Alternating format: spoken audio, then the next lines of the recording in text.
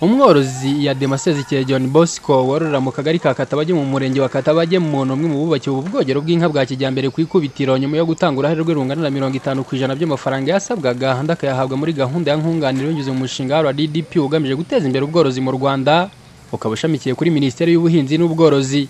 Uyu usezekeye avuga ko uburyo yakoreshaga mbere mu koza inka ze bwamugoraga cyane ku buryo byasabaga amasaha ari hagati y'ane n'atanu. Twakoreshaga pompe isanzwe.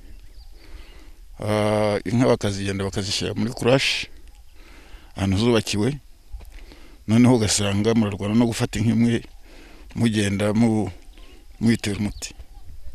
Imwe ku yindi kugeza igihe muzarangiriza. Koza byashobora gutwara nk'amasaha atandatu ane ku munsi.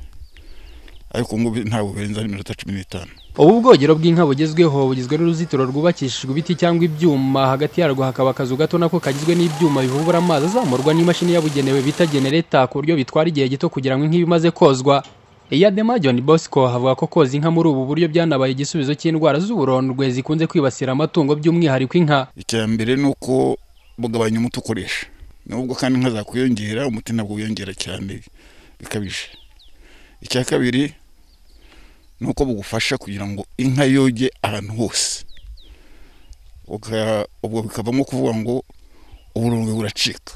N'indwara zose zikomoka ku burondwe zikaba ziragiye. Ubwo amatungo akaba yagira ubuzima bwiza. Mu mirenge nka rwimiyaga karangazi na tabagwe mu mudugudu w'icyitegererezo wa gishoro naho harimo kubaka ubwogero bw'inka nk'ubu bwa kijyambere buzakoreshwa mu buryo bwa rusange bikaba biteganyijwe ko nabwo buzuzura mu minsi ya vuba.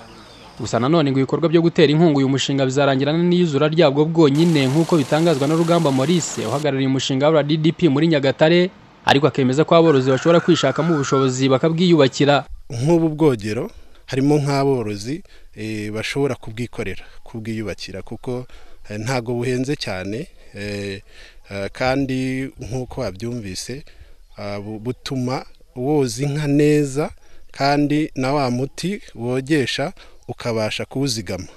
Ah, urumva rero ku borozi kuko ah, bose urumva ntago buzagerayo ariko ah, umworozi mu gihe amaze kubona n'akamaro kabwo nawe ashobora kuba yabwiyu- yabwiyubakira mu rwuri rwe. Kugeza ubu imirenge umunani muri cumi n'ine igize akarere ka nyagatare niyo ikorerwamo ubworozi cyane hagereranijwe n'ubuhinzi. Abenshi mu borozi bo muri iyo mirenge baracyakoresha uburyo busanzwe mu koza inka zabo ariyo mpamvu basabwa kwishyira hamwe kugira ngo babashe gukusanya ubushobozi bwo kwiyubakira ubwogero bwa kijyambere ku batuye ahatazagerwa n'ubu ngubu burimo kubakwa. Valensi niyo nkuru televiziyo y'u rwanda mu karere ka nyagatare.